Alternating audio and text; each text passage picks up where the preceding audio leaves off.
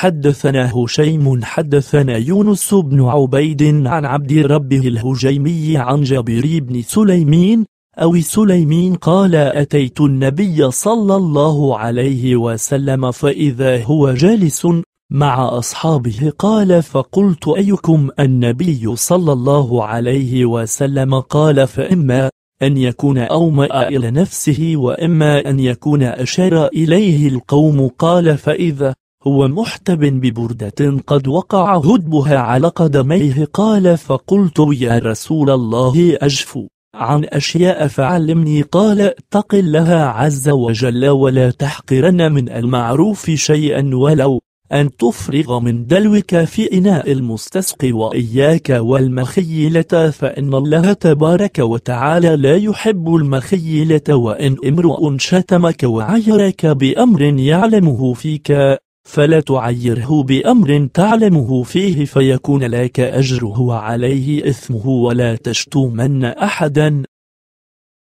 حدثنا يزيد أخبرنا سلام بن مسكي عن عقيل بن طلحة حدثنا أبو جرأ الهوجيمي قال أتيت رسول الله صلى الله عليه وسلم فقلت يا رسول الله إن قوم من أهل البادية فعلمنا شيئا ينفعنا. الله تبارك وتعالى به قال لا تحقرن من المعروف شيئا ولو أن تفرغ من دلوك في إناء المستسقي ولو أن تكلم أخاك ووجهك إليه منبسط وإياك وتصبيل الإزار فإنه من الخيلاء والخيلاء لا يحبها الله عز وجل. وإن امرؤ سبك بما يعلم فيك فلا تسبه بما تعلم فيه فإن أجره لك ووباله على من قاله حدثنا عبد الصمد حدثنا سلام حدثنا عقيل بن طلحة عن أبي جري الهوجيمي أنه آتى رسول الله صلى الله عليه وسلم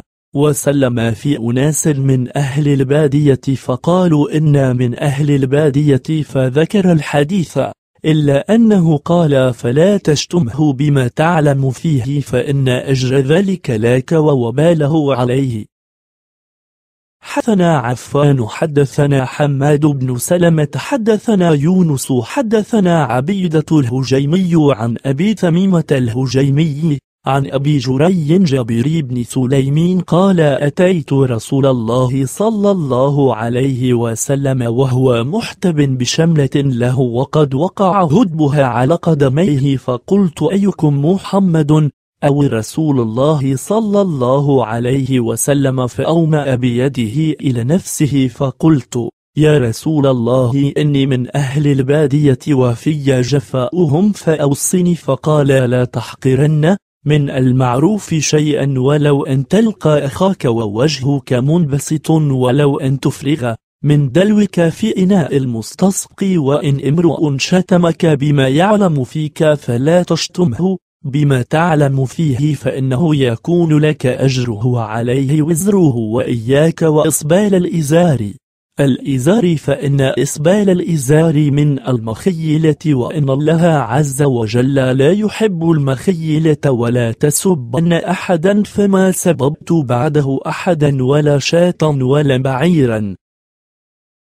حدثنا عفان حدثنا هيب حدثنا خالد الحذاء عن أبي تميمة الهجيمي عن رجل من بالهجيمين قال قلت يا رسول الله إلى ما تدعو قال أدعو إلى الله وحده الذي إن مسك ضر فدعوته كشف عنك والذي إن ضلت بأرض قفر دعوته رد عليك والذي إن أصابتك سنة فدعوته أنبت عليك قال قلت فأوصني قال لا تسبن أحدا ولا تزهدن في المعروف ولو أن تلقى أخاك وأنت منبسط إليه وجهك ولو أن تفرغ من دلوك في إناء المستسقي وتزر إلى النصف الساق فإن أبيت فإلى الكعبين وإياك وإصبال الإزار. فإن إسبال الإزار من المخيلة وإن الله تبارك وتعالى لا يحب المخيلة